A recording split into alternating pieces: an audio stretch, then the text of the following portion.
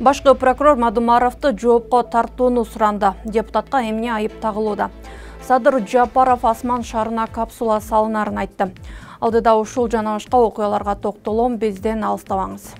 Ленин бир мандаттуу шайлоо округу боюнча жогорку кеңештин депутаттыгына талапкер дамира ниязалиеванын шайлоо штабынын эки кызматкери кармалды.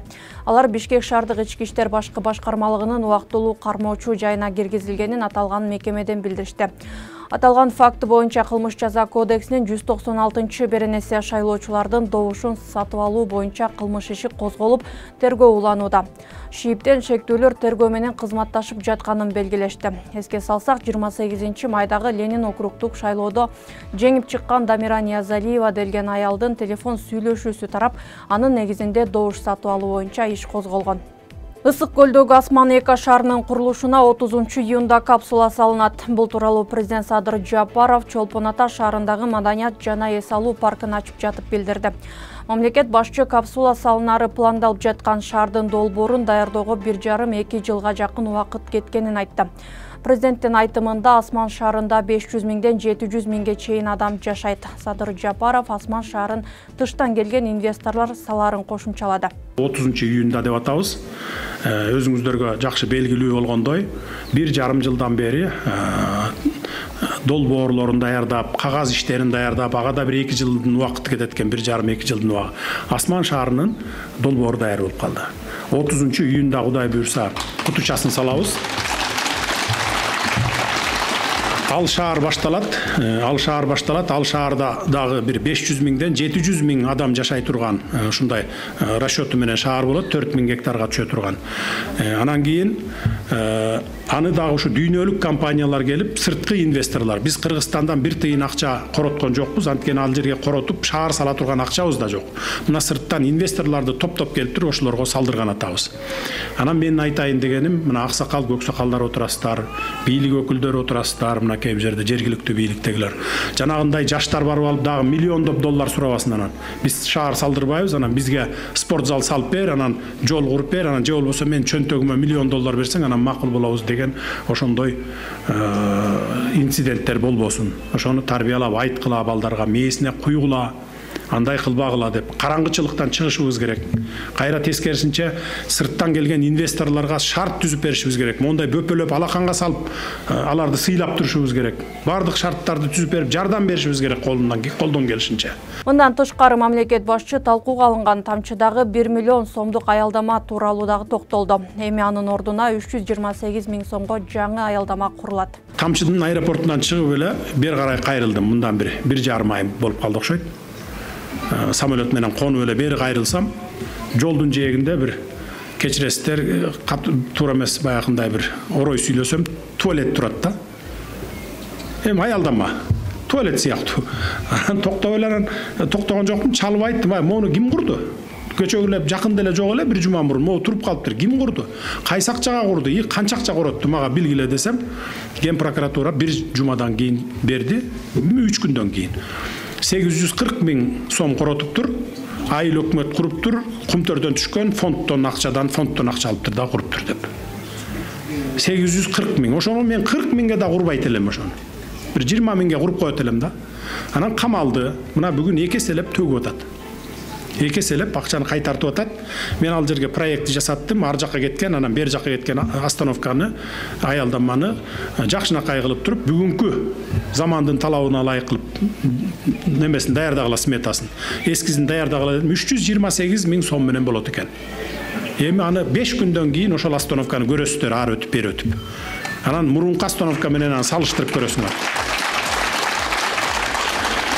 бул эмне үчүн өнүкпөй келгенбиз отуз жылдан бери ушинтип жеп баягындай өнүкпөй келгенбиз да бирдеме курса дагы бир беш он жылдан кийин кулап калат же болбосо жанагындай жараксыз болуп калат ушундай болуп келген мынакей жапаров ошол эле кезде тамчы аэропортун курчаган дубалдын бир айга жетпей кулап калганы тууралуу кеп козгогон жок ал арада түп районуна барган президенттин жергиликтүү аткаминерлерди урушуп жаткандагы видеосу тарады аны жергиликтүү тургундар тартып алган белгилей кетсек отузунчу майда жапаров ысык көл облусунун түп районунун акимине туристтик сезонго даярдыктар жоктугу үчүн сөгүш берген.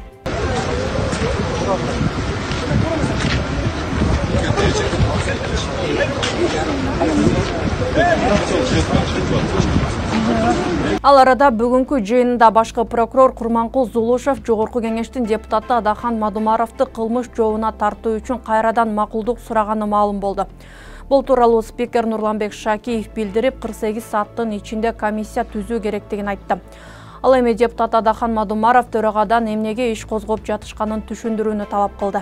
Жогорку кеңештин кароосуна макулдук алуу үчүн башкы прокурор депутат адахан кюлсанбаевич мадумаровду кылмыш жаза жоопкерчилигине тартууга макулдук алуу жөнүндө сунуш киргизди регламентке ылайык башкы прокурордун сунушун мен күн тартибине коюп э, аталган маселе боюнча атайын комиссияны түзүү үчүн кырк сегиз сааттын ичинде деп белгиленген. Ошол маселени мен добушка коюп атам бүгүн күн тартибинде негиз кезексиз карап коелу деп. Түшүнүктүү болдубу эми? Түшүнүктүү болсо анда аталган сунушка добуш бериңиздер күн тартибине киргизүү боюнча. Эмне маселе боюнча экен? Мындай бир депутаттарга жарыялап койсо болобу же жашыруун сыр бекен эмне маселе боюнча экен кайсы маселенин негизинде экен мына мага дагы азыр чагылгандай болуп жаңылык болуп атат мындай бир айтып койсоңор эмне маселе эмне аба кыргыз абасынан жутуп атат деген маселеси бар бекен же суусун ичип коюп атат деген эмне маселе экен же көп сүйлөп атат дегенби себеби эмнеде экен себебин окуп берейин сизге ошон үчүн окуш керек да биринчи маалымат бериш керек да депутаттарга адахан пенсомович бул маселени күн тартибине киргенден кийин биз комиссия түзгөндөн кийин комиссия иштегенден кийин бул маселени добушка чыгарганда сиз да сүйлөйсүз башкы прокурор да сүйлөйт баардыгы сүйлөйт баардыгы дайын эмнеге болуп атканын ошол жерде элге түшүнүктүү кылат сиз да айтасыз сизге да сөз берилет башкы прокурор өзү келет ушул жерде бирок мен эки маселе коюптур эки статья боюнча.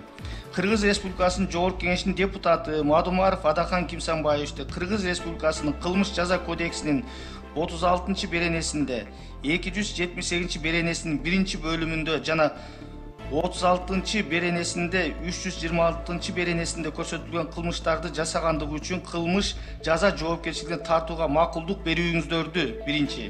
Экинчи. Кыргыз республикасынын жогорку кеңешинин депутаты мадумаров адахан кимсанбаевичти кыргыз республикасынын кылмыш жаза кодексинин үч жүз отуз сегизинчи беренесинин үчүнчү бөлүмүндө көрсөтүлгөн кылмышты жасагандыгы үчүн кылмыш жаза жоопкерчилигине тартууга макулдук берүүңүздөрдү өтүнөм.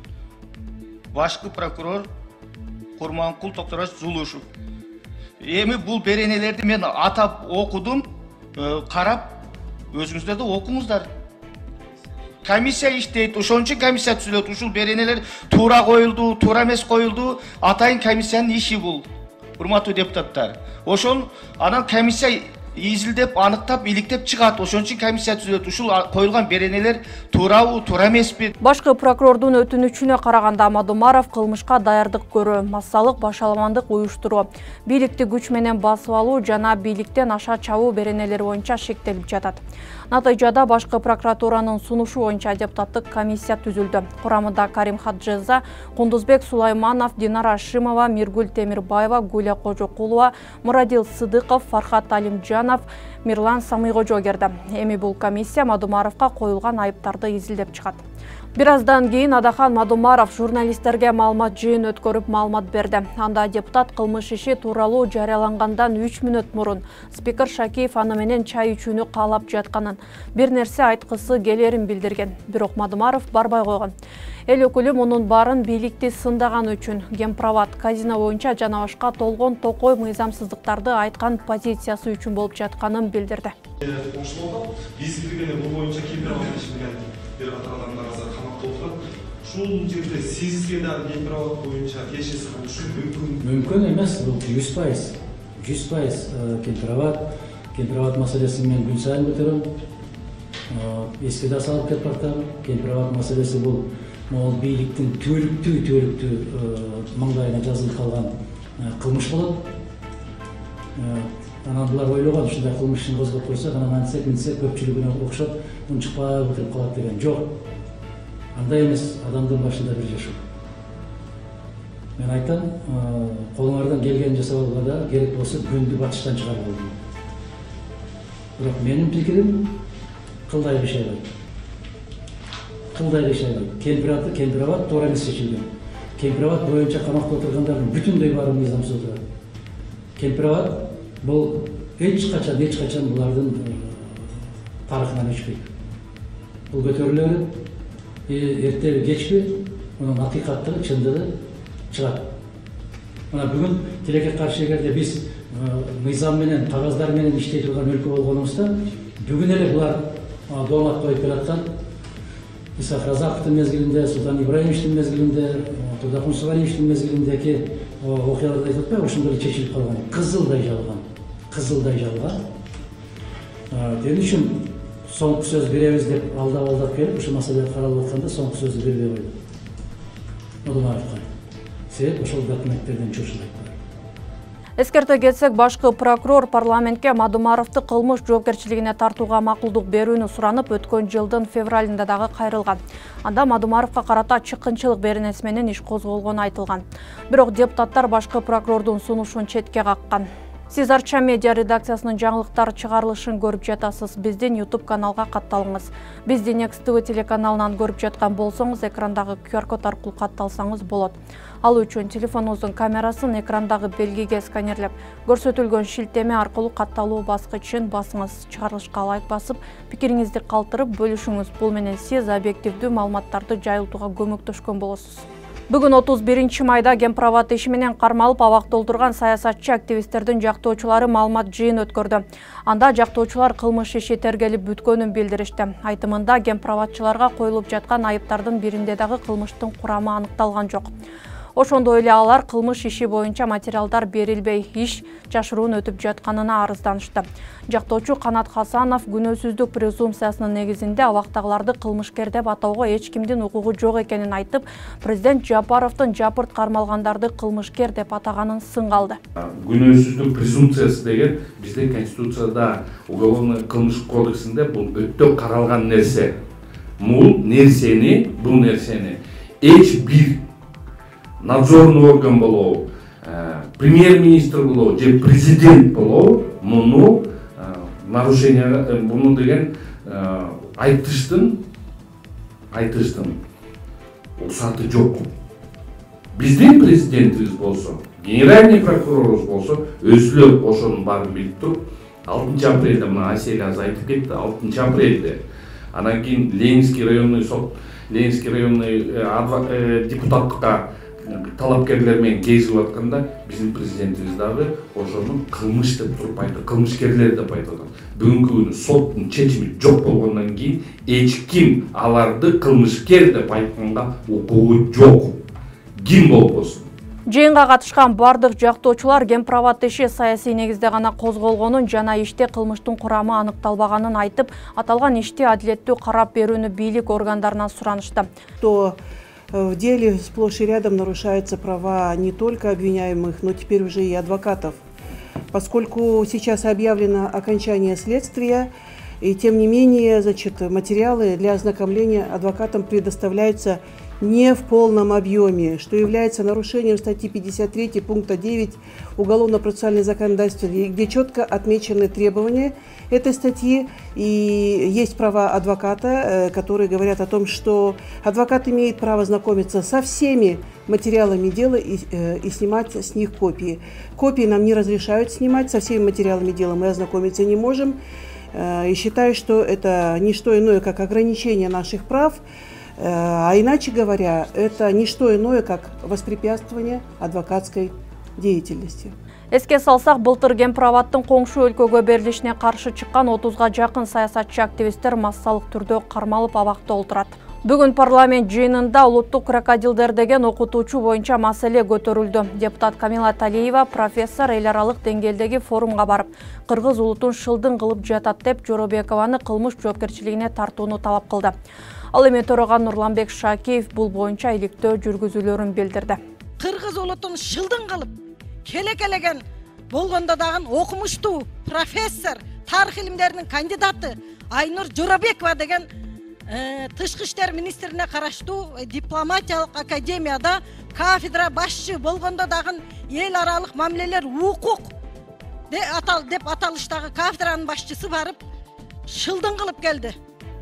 Бир чоң эл аралык иш чарада мына мен эми сөзмө сөз окуп берейин сиздерге ал жерде ал ошол мындай деп атат медиа боюнча айтсак толук борбор азия үчүн жооп бере албайм бирок бизде орус тили расмий тил катары баш мыйзамда жазылган кыргызстандын аймагында токсон пайызына спутник таркайт кыргыз жана орус тилинен билим берген мектептер дээрлик тең чамалуу улуттук крокодилдердин каалоосуна каршы жогорку окуу жайларда окутуу орус тилинде жүргүзүлүп келет деп атат улуттук крокодилдер деп атат мен бул жерден билим берүү министрине да кайрылат элем улуттук крокодил крокодилдердин нарын дарыясынан эмес мына профессорлор улутка элге крокодилдер деп коюп атат эл экен улуттук крокодилдер улуттун улуту үчүн күйгөн мен ушул жерден муну мына кылмыш жаза кодексинин үч жүз отузунчу беренесинде турат улуттук ар намысына кемсинтүүгө багытталган аракеттер деп бул буга окшогон болгондо да кафедрада кафедраны жетектеп биздин билим берүү стандарттарыбызды программаларыбызды кандайча окутуп атат бул дипломат мындайча айтканда дипломаттын айткан сөзү айтар сөзү ушулбу улутка шек келтирип аткан окутуучулар окумуштуулар окуу жайда иштебеш да керек кылмыш жазасына тартылыш керек мындай окумуштуулар рахмат. Рахмат.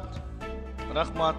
Бул боюнча мен дагы дароо реакция жасап тышкы иштер министринин өзүнө айттым тапшырдым. Бул боюнча сөзсүз иликтөө жүргүзгүлө териштиргиле деп. Бул абдан кыргыз элин кыргыз улутун мазактоо болуп эсептелинет буга биз эч качан жол бербейбиз айрыкча эне тилге мамлекеттик тилге күйгөн мекенчилдерге карата айтылган сөзү кечирилгис жана чоң жоопкерчиликке тартылат деп мен ойлойм биз башкаларга сабак болуш үчүн дагы бул маселе катуу жазаланыш керек. Күндүн кыскача окуялары ушулар болду саламатта калыңыз